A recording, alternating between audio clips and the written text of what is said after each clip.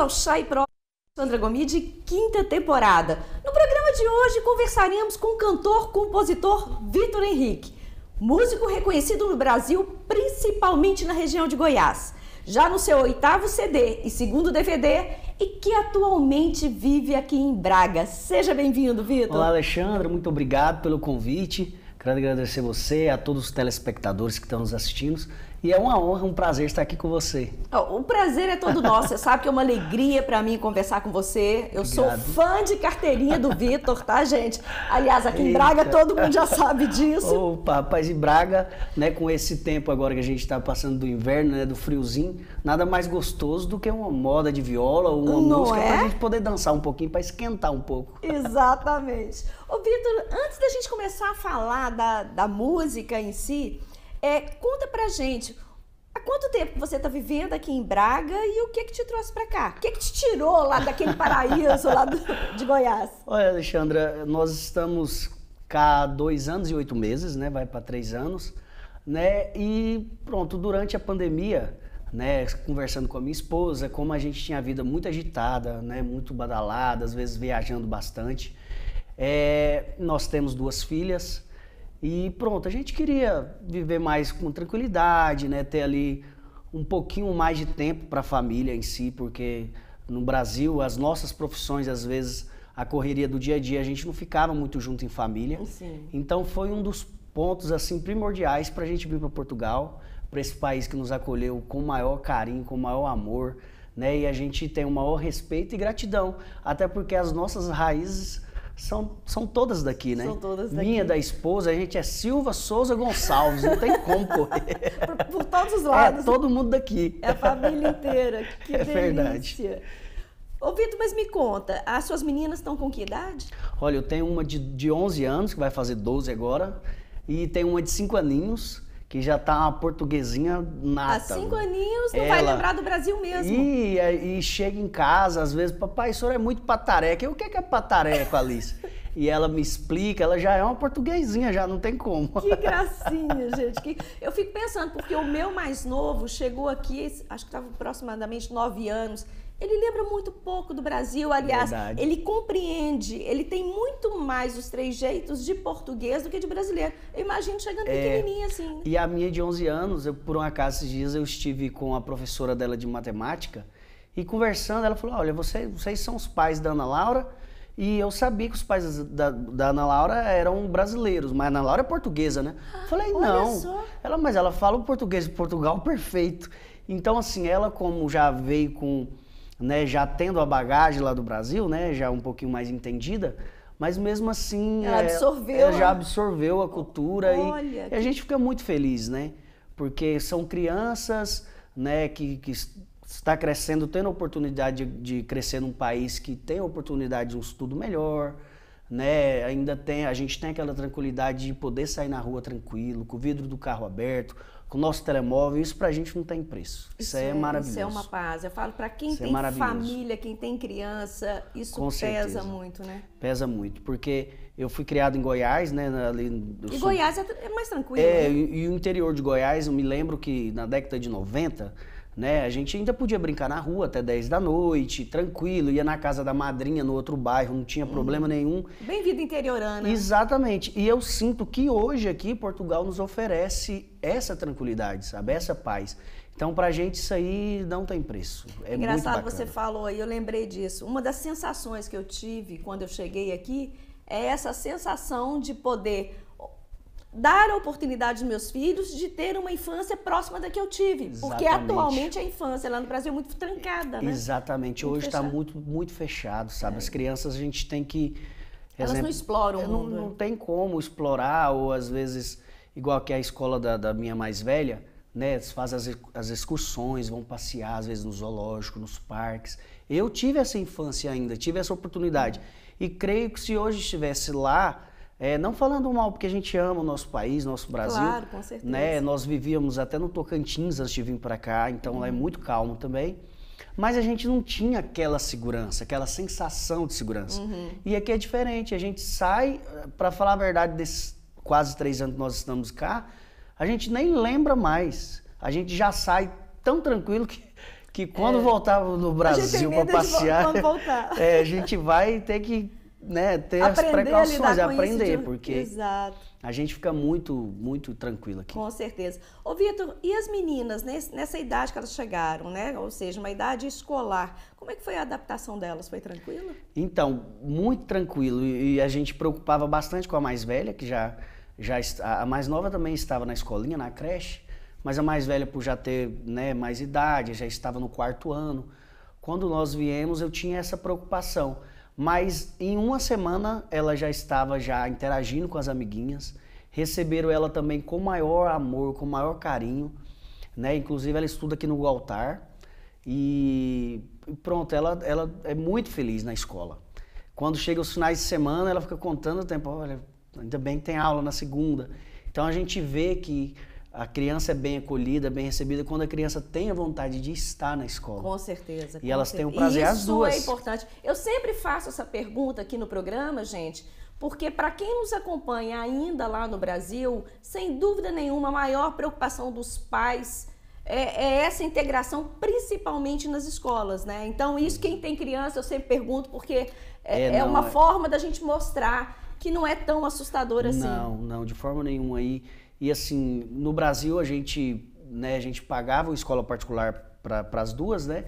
E a nossa mais velha, assim, a escola particular era maravilhosa também, só que a gente vê o, o que a pública que ela estuda aqui, o que oferece para ela de educação, a pública do Brasil, assim, tá muito atrasada, sabe? Uhum. Muito mesmo. Ela tem aula de inglês, já falando fluentemente, hoje ela está no sexto ano. Ela tem aula de robótica, né? Tem um tempo vago que ela faz aula de mandarim na biblioteca. Uhum. O ano que vem já ela vai poder escolher o francês ou o espanhol. Uhum. Então a gente vê as diferenças, sabe? Sim. Ela também estuda música na escola. Uhum. Ela já lê partitura desde pequenininha, desde seis anos. Ela Filha aprendeu. do Vitor, né, gente? ela aprendeu na escola e, e o pior é que ela ensina o papai, viu? O é papai mesmo? não lê partitura, foi aprendendo. A mamãe, a mamãe sim, a mamãe é a mamãe organiza. É da música também. É, mas ela aprende na escola. Isso aí me, me, me encantou, Olha, sabe? Porque eh, tantos talentos né, que tem e a escola ajuda a desenvolver isso. Claro, claro. Ô, Vitor, agora para quem está nos acompanhar aqui, que te conhecer um pouquinho mais, conta pra gente, o que, que você fazia exatamente lá no Brasil? Olha, então, eu vivi inteiramente 27 anos de música. Né? Eu comecei muito novo, comecei com 8 anos de idade a cantar na minha cidade, no interiorzinho. Fui para Goiânia, né, onde cantando ali no, nos restaurantes, nos bares, fazendo as participações, tive a oportunidade de fazer parte de uma banda de baile lá, de, de, de renome até nacional. E pronto, ali iniciou minha carreira e de lá para cá é 27 anos literalmente vivendo de música né? Fazia casamentos, formaturas, shows de prefeituras. Mas você não só canta, você compõe também. Exatamente, tem esse lado também de compositor. Exatamente, um histórico muito interessante, né? Verdade. Vocês aí com certeza já cantaram alguma música do Vitor e não sabem com que cantava certeza. a música do Vitor, é não é verdade. Isso? Verdade, tem esse lado de composição também, né? Onde eu tenho tive um parceiro de duplo, Vanille, né? Eu aprendi a, a compor com ele, né? E a gente sempre fez músicas pra gente e também para outros artistas, né? E teve várias músicas que nós gravamos, né? Tivemos o um reconhecimento ali regional, né? Mas Deus preparou e outros artistas também ouviram e resolveram regravar, uhum. nos dar esse presente e o Brasil inteiro canta. Exatamente. Isso é, isso é sensacional. É verdade. Né? O poder da música, da arte é muito grande, né? É um meio de comunicação sensacional, né? Exatamente. De de marcar e, memórias. Né? Verdade. Né? E fura barreiras, né? Porque a música, o som, é, eu falo que, que, que a arte, a gente, que a artista, a gente tem esse privilégio porque o artista vai e a arte fica, né? Uhum. E então, assim, a gente tem. Eu sou muito grato a Deus por, por esse dom, né, que Deus me deu. E, Essa voz. E poder né? alegrar. O que mais me encanta é de alegrar o As próximo, pessoas. sabe? Isso aí pro artista eu acho que não tem preço quando você está no palco ali, que você vê que você está conseguindo. Que a plateia está vivendo Exatamente, aquela... que você está tendo aquela resposta, sabe? Essa troca de energia é muito legal. Exatamente. É muito legal. A gente vai para casa renovado. Pode ter cheque do outro dia para entrar, cartão vencendo, mas a gente esquece Ali de tudo. esquece, né? Esquece de tudo. A Exato. música é mágica. Exa- Isso é muito perceptível, gente. Quando a gente conheceu o Vitor, o Vitor chegou aqui em Braga, nos procurou, né? Me procurou lá Verdade. na Associação Foi o UAI. primeiro lugar que eu fui. Exatamente, procurou lá na Associação UAI e, e falou que era músico. A gente tava, era véspera do Festival de Inverno, Exatamente. como agora o Festival de Inverno Exatamente, vem tá por aí. chegando já, dia Ex- 2, hein? E aí, como eu sempre faço, eu, quem nos procura lá na Associação UAI, eu tento dar alguma oportunidade das pessoas se apresentarem e mostrarem o seu trabalho, seja em qualquer área. Nesse caso do Vitor, era o Festival de Inverno, nós colocamos o Vitor para cantar e tocar Verdade. lá no Festival de Inverno. Não conhecia, tá, gente? De É, foi, foi um risco? Foi Foi, um risco. risco que ela correu. Mas eu sempre arrisco, eu sempre dou É verdade, a é oportunidade. oportunidade. Eu E isso dou... é muito importante. É muito importante porque, independentemente da área que a pessoa trabalha, a pessoa precisa se mostrar. Precisa né? abrir as portas. Precisa é. abrir as portas. Esse primeiro passo aí foi primordial e, e muito importante para mim, porque a, a gente chega, a gente já fica né, meio deslocado, porque a cultura é diferente, né? Os costumes são diferentes. nada, né? Não É, sabe nem o gente fica- comportamento dentro da sua área, né? Exatamente. E a partir desse pontapé, dessa oportunidade que a UAI me deu, né, dali eu comecei já a fazer eventos particulares, também os restaurantes da cidade, né, teve um material de foto que a gente fez bastante, a UAI também ajudou a divulgar e estou cá, feliz, tocando todos os ah, finais de a semana. gente vai falar, a gente vai falar e sobre pronto, isso. é isso. Mas olha só, gente, o que eu queria linkar aqui é justamente essa questão que o Vitor colocou da, da relação dele com o público, né? De perceber. E nesse dia no Festival de Inverno, na primeira apresentação dele, foi mais ou menos isso. Foi na hora que ele começou a cantar, imagina assim o público, todo mundo um olhando para o outro, fala, opa, não é qualquer um que está cantando ali. Opa, foi perceptível e a partir dali eu coloquei o Vitor no Hawaii É, todos os eventos. eu- no Dia do Brasil e todos os anos. Não tem como verdade. deixar o Vitor de fora, porque o público pede. Isso é Obrigado. sensacional, né, Vitor? Exatamente, e é, e é isso que motiva a gente, né? Que motiva a gente a querer, a buscar. Eu, quando eu vim para Portugal, na verdade, eu vim com a intenção de. Falei, eu acho que eu vou parar um pouquinho, sabe, com a música. Mas não dá, sabe? Aquela tá formiguinha é, tá. não, não tem como. Sabe, se eu não pego o violão uma vez na semana que seja, eu já fico assim, meio. Tá faltando alguma coisa. E a UAI. Ainda bem pra nós. Pois é, e a UAI veio, a- veio a calhar porque é, abriu mesmo as portas para mim e eu tenho uma gratidão feliz. assim eterna mesmo por vocês. Fico muito feliz. Ô, Vitor, agora, olha só. Você é de Goiás, então, seu estilo... Aliás, olhar pro Vitor, conversar com o Vitor, a gente vê. É mais sertanejo. Ah, é, sertanejo. Eu fui criado ouvindo moda sertaneja, Ai, que delícia, né, com gente. meu pai, com meu com meu avô, os vizinhos também, né? O interior de Goiás, o sertanejo raiz é muito forte até hoje. Uhum. E pronto, fui para uma banda de baile, depois aprendi a cantar também todos os estilos, mas a- o A sertanejo sua raiz é sertaneja. A- aquela sementinha plantada lá atrás não tem como. Vou te desafiar aqui agora, pode? Opa, pô, tô pronto. Olha só, nós temos muitos portugueses nos acompanham, porque o nosso programa é exibido aqui na DMTV. É, que tal uma palhinha de Opa. sertanejo aí para mostrar? É agora, né? só se for agora. Ó, a, a minha, a minha, a minha viola já, já está afiada Já aqui. tá viu? pronto. É, aqui a gente deixa pronto. Ó, vou cantar um sertanejo, é clichê, né? Mas para todos conhecer, é, é, a gente chama que é, o- é um batidão sertanejo. Nessa música é de Tião Carreiro e Pardim. É uma música que todas as festas que a gente toca, ela não pode faltar. Eles pedem. É, eles pedem. É mais ou menos assim. Quem tem mulher que namora, quem tem burro empacador. Quem tem a roça no mato, me chama, que jeito eu vou. Se eu tirar a roça do mato, sua lavoura melhora. E o burro empacador, eu corto ele na espora. E a mulher namoradeira chega pra cá que nós namora. Tchau. E é mais ou menos assim. que delícia! Bem modão mesmo, É gente. bem modão. Esse daqui é pro povo sair dançando, né? E, e- e, inclusive eu toco esses modão nas festas onde eu, eu me apresento. E nossa, a gente tem um respaldo muito grande. Os portugueses adoram também dançar, né? São felizes também, igual a gente. Então todo mundo cai na dança ali e não Que tem, delícia. e não tem hora ruim. Que delícia. Tem também aqui, ó. Essa eu sei que Portugal inteiro canta também.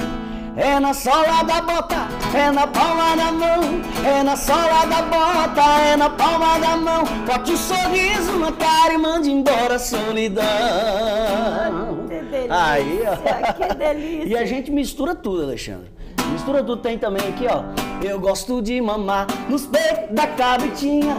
Eu gosto de mamar, é nos peitos da cabritinha. Eu gosto de mamar nos peitos da cabritinha. Mamo a hora que eu quero, porque a cabrita é minha.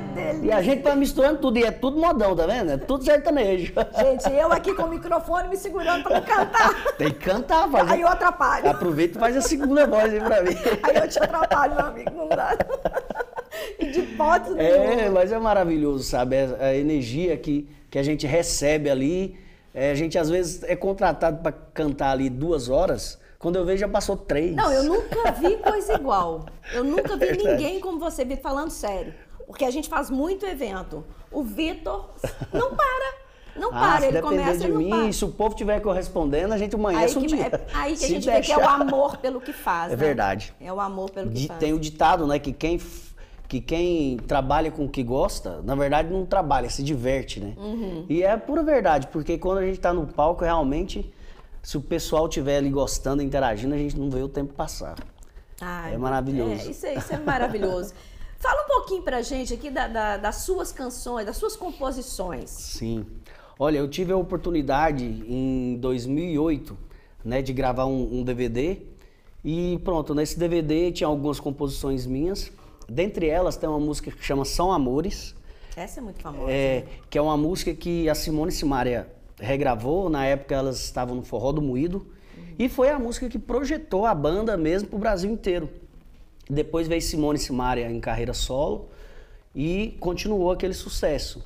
Né? E eu sou muito grato. Na época, um produtor delas ouviu esse DVD, viu esse DVD, levou até o conhecimento delas, né? E pronto. E gravamos essa música através do nosso amigo Nirvaldo Paz, é, que até hoje trabalha com elas. E é um sucesso que o Brasil inteiro canta. Até hoje, né? E não para. Não para. todo evento que tem, toda festa Tem que que tem, cantar. essa música. Essa que... música delas, na voz delas, é igual o É o Amor na voz do Zezé. Onde vai, Exatamente, exatamente. tem que cantar. É, que isso para o compositor deve ser uma coisa maravilhosa. Isso é maravilhoso, porque você vê a sua obra ali na voz né, de outro artista que é respaldado pelo Brasil inteiro, isso aí não tem preço, sabe? É muito bom. É muito legal. Me lembro quando eu vi pela primeira vez, porque essa música eu compus em sertanejo, né, que é um sertanejo mais romântico, e elas gravaram em forró. Então eu lembro quando eu vi, ouvi a primeira vez a música tocando num carro de som, assim, na porta de um, de um bar, aí eu me arrepiava, Ai, sabe? Eu falei, olha que legal. O poder da música, né, é muito grande. É muito forte. É, muito forte. E quando às vezes a gente está escrevendo, a gente nem também se dá conta, né, de onde pode chegar ali aquela, aquela canção e que mexe, que fala, né, a história de amor e da vida de muitas pessoas. Eternizam, né? Momentos, com- Eterniza. sem dúvida nenhuma. Eterniza. Vem inspiração ali, às vezes, de, de al- alguma coisa que algum amigo nos contou, ou que a gente também passou, ou que a gente imagina. Falo que é igual escrever uma novela. Né? Às vezes você entra aqui naquele mundo de fantasias e vai buscando e sai as modas. Que delícia, que delícia. Ô, Vitor, agora me fala uma coisa. E aqui em Portugal, como é que é é a, a vida para o músico aqui em Portugal? Olha, Alexandre, tem muitas oportunidades, né? É, inclusive, pronto, tem muitos restaurantes brasileiros, né? Que a gente sempre também está tocando, muitas festas particulares. E o povo português gosta muito de música brasileira. É, Consome muito, né? Consome mu- muito. Inclusive, esse final de semana, vou estar na sexta-feira em Vila Pouca de Aguiar, já é perto de Chaves, quase divisa seja, com a você já Espanha. está rodando Portugal. Já tô rodando, então Que a- delícia. devagarzinho a gente vai, né, conseguindo Encontrando o seu espaço. o espaço, né, vai agradando e também vai adquirindo uma experiência na questão de repertórios, pra gente também agradar todo mundo. Uhum. Então no meu repertório hoje eu vou fazer minhas apresentações, eu não canto só música brasileira. Uhum. Né? Eu canto as músicas portuguesas também, que o pessoal pede, e que tem músicas maravilhosas, sabe? Tem, tem uns artistas Que a maravilhosos gente só aqui. descobre quando chega aqui, né? Exatamente, que canta muito, sabe? E pronto, e eu misturo tudo. Canto espanhol também, sabe? O portonhol. e a gente vai se virando. O negócio tem que agradar a quem está nos ouvindo, sabe? Uhum. Então a gente tenta fazer o melhor. Ter essa flexibilidade também, né? Exatamente. Dentro do seu estilo, dentro da, da sua da sua competência, né? Exatamente. Adequar ao público Adequar local. ao público, aí tem que ser, sabe? Eu acho que o artista, até tem um amigo meu, empresário, que ele fala, Vitor, eu trago outros artistas aqui, mas assim, às vezes não, não agrada, como é que faz? Eu falei, olha, conversa, porque às vezes a pessoa também precisa de, de ali de, de, como se diz, ser um pouco doutrinado, uhum. né? O artista ele tem que entender que ele não está cantando para ele, Uhum. Né? Eu, se eu fosse cantar pra mim, eu cantava só modão sertanejo o dia inteiro. Mas no show eu canto pagode, eu canto samba, uhum. eu canto piseiro, uhum. né, o forró, é, uma salsa, um bolero. A gente tem que cantar de tudo, porque um rock, porque a gente tem que agradar quem está ouvindo. Uhum. Né? Nós, nós não estamos ali para cantar só o que a gente gosta. Uhum. Né? A gente tem que agradar a todos. Então, esse é o meu pensamento. Você é artista, tira o repertório é, é, de todos os estilos, porque tem alguém ali que vai sair do seu show, por mais que você cantou uma música só que ele gosta, mas ele vai sair falando bem de você. Exatamente. Fala, rapaz, o cara era cantor sertanejo, mas ele cantou meu rock. Ô, gente, o Vitor já fez um tributo a Roberto Carlos Olha aqui. Aí, Lembra disso? É, e foi, foi. Lembrei, você falando é. aí agora, eu lembrei, pensa, um sertanejo cantando Roberto Carlos. Não, e o tanto de ligação que eu recebi, rapaz, você vai cantar Roberto Carlos, mas tu não é certo. Falei, rapaz, nós canta tudo. Que, que vier aqui não tem. E, e, foi sucesso, tá? Foi sucesso. Foi maravilhoso. Foi muito bom. O muito... rei Roberto Carlos, né? Pronto. Um dos e maiores é isso, compositores. os portugueses consomem muito Roberto consome, Carlos também. Consome. Então foi uma forma da gente trabalhar com os dois públicos Exatamente. também. Exatamente. Isso é. E o Roberto é maravilhoso, né? É. um dos maiores compositores que a gente tem da história. É Ele, terno, Erasmo né? Carlos, é. né, que era o parceiro dele, é, Exatamente. Ali é sem, sem acrescentar nada. Exato. Ô Vitor, mas me fala, dá para viver só de música aqui? Olha, dá sim. Dá uhum. sim. Depois que você é, fizer o, a sua trajetória, Faz ali né? a trajetória, seu... um nomezinho, procura o AI para ter as oportunidades. dá para viver sim sabe? A pessoa dedicando, eu acho que tudo que você dedica, né, você consegue. E assim, é aos poucos. Uhum. É igual, é, não é, eu não falo começar do zero, mas você está recomeçando. Porque eu começar do zero eu acho muito pesado. Porque a pessoa já vem com a bagagem, já tem experiência ali tocando. Então você não está começando do zero, mas se você dedicar e ir atrás, as oportunidades vêm. Uhum. A oportunidade vem. Sabe? Eu não vivo inteiramente da música hoje.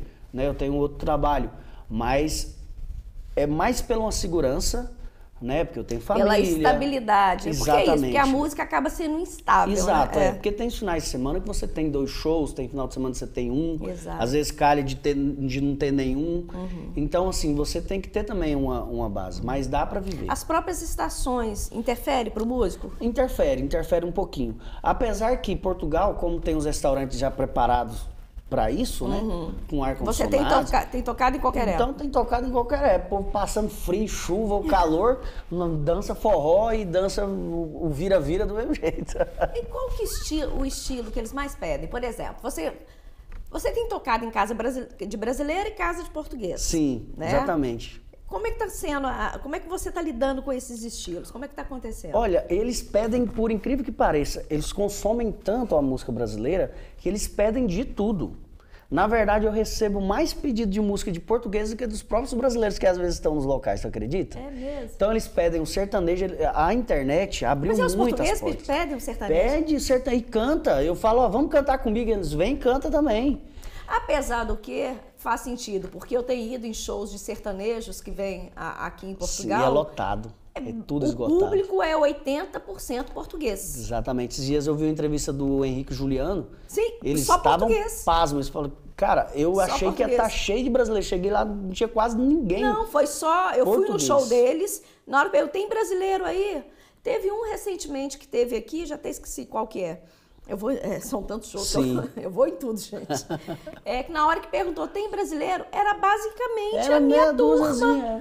O resto era todo português. português. Eu fiquei impressionada. É, a internet abriu muitas essas portas, né? Exato. Deu essa possibilidade. Deu essa possibilidade, né? consome muito a nossa música, né? E, e, e, e até penso assim que os artistas portugueses tinham que dar uma enraizada também em questão de rádio, internet, mais no Brasil porque tem músicas maravilhosas aqui e que às vezes lá não são tão consumidas. Exatamente. E que eu tenho certeza que se começar a tocar, é, é, é lá é sucesso também. Então fica a dica aí para os artistas fica aqui, para os artistas Vamos... portugueses Exato. entrarem também no mercado brasileiro, porque está sendo muito bem aceito pela com comunidade certeza, brasileira. Com certeza, né? tem muitos artistas maravilhosos aqui. Começar a mandar música para as rádios com do Brasil, certeza. né? Para as rádios, para a internet. Procura o Uai também, que o Uai não consegue.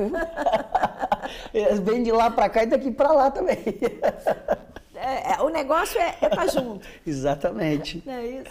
Ô, Vitor, olha, você sabe que eu ficaria aqui com você, né? Ah, se deixar aqui. O, o tempo, muito mais tempo, ainda mais pedindo mais, mais e mais músicas, né?